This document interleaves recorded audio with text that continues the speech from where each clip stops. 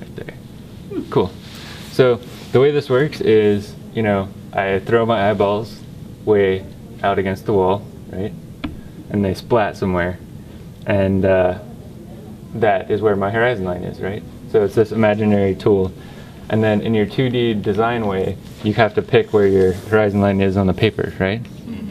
So if I want to show off the ceiling, because the ceiling's really interesting, I bring my horizon down, right, on the page. So I do it here. If I want a 50-50 ceiling floor, I put it 50-50 right in the middle of the page. If I want to focus on the floor and not much of the ceiling, I put it high up, right? So I like the ceiling here, so I just very lightly establish a horizon line. And now I have to decide where my vanishing point is, right?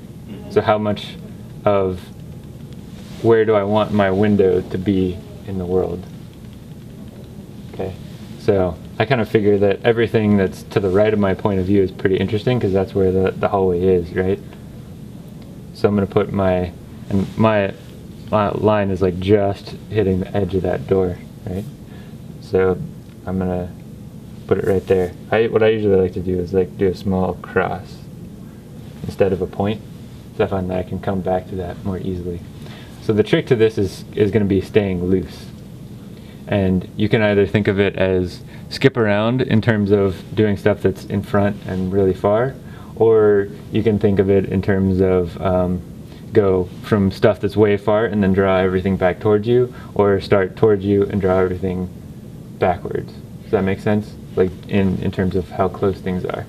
Um, generally what I like to do is take the largest area, um, the largest volume, and establish that real quick. Um, and what makes linear perspective interesting is just staying loose. So I'm going to start with this big old door line, and I have no idea how it's going to, how big it needs to be really, but pretty big probably. Um, and then it's kind of got this funky proportion to it. Might even go off the page. So then once I'm there, I know that I want to establish this hall, this hallway in here. Um, and if I measure from my point of view up to the top of that door, I know that I have like maybe four lengths from the top, from my point of view to the top of that door, to the out, outside door, and then up to the top. So I kind of divide this into quarters, and I know the door is going to be about there, right? So then once I'm there, the door, the right side looks about maybe a little over halfway. So I've knocked in that whole back area. So now that I have a square, I do the same thing that we did on the board, right? I take those points and connect them back to the vanishing point and out. And here we're inside the box, right? And then they're going off somewhere here and somewhere here, right? So I can't really see the rest of the doors, but I assume that they're there. That makes sense so far? So we're inside, so the hallway is inside the box. And then I have this kind of funky thing where the the hallway progresses a little further. So what I do is just make sure to avoid divergent lines and then connect them back. And then I just kind of very lightly make sure that I go all the way back to the vanishing point again. Right? So here I'm establishing that right wall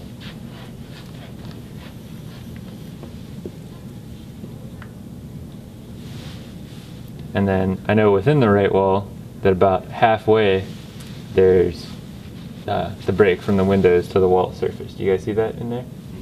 So the way you find halfway points is you draw an X, right? So if you have a, a, a square, you draw an X through the square, that'll be the center, the exact center of the square, right? Mm-hmm. And if you measure the diagonals and they're the same, it's actually square, all the, the, they're 90 degree angles. It's kind of cool. I use that in construction all the time. So I just kind of do a little X, and then I have found my vertical for the subdivision. Right. So I know that's where the the windows are, and then it ha it so happens that this window is very close to that line, that first bit of the window. And there's one just slightly above, one slightly below, and that's really it. And then I have the floor and then I have, I can sort of roughly estimate the verticals in there.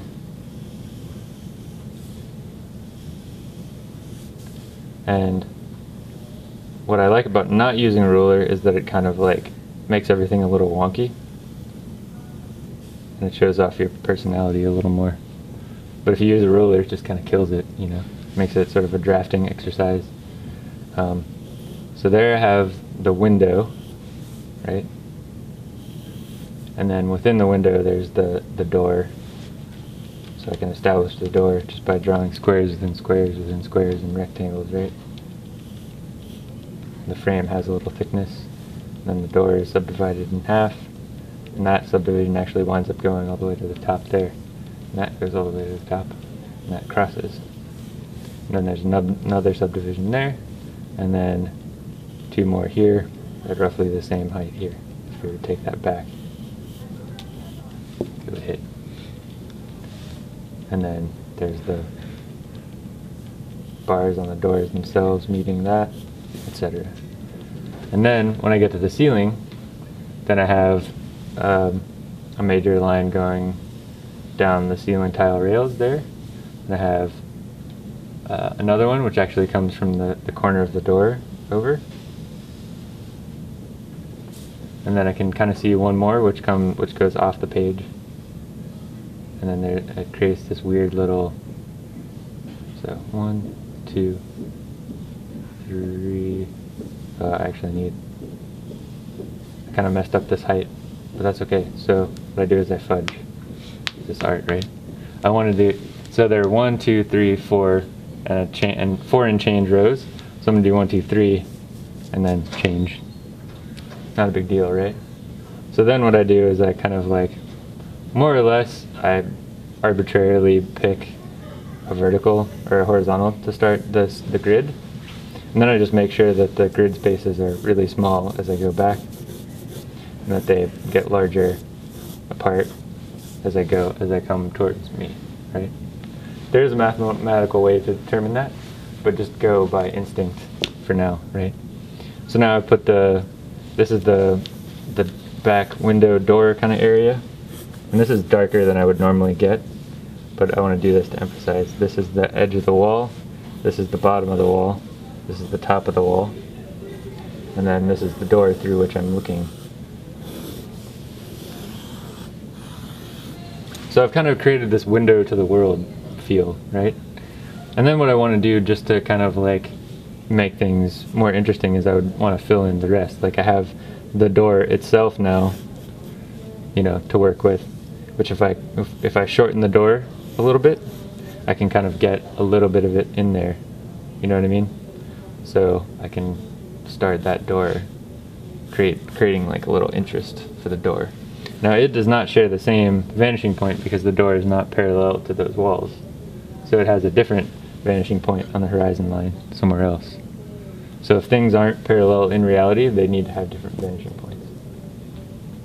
And if, it, if you're looking at a ramp, then it has a new horizon line. Interesting, huh? Cool. So, you guys ready to do this? Give it a shot? Yep. All right, give it a shot. What so go doing and uh, probably the hallway is good. So you can go sit out in the hall, take a chair, or one of these little stools, Take a chair. Or just sit up against the wall, or sit in one of the chairs back there. Can I just like imagine inside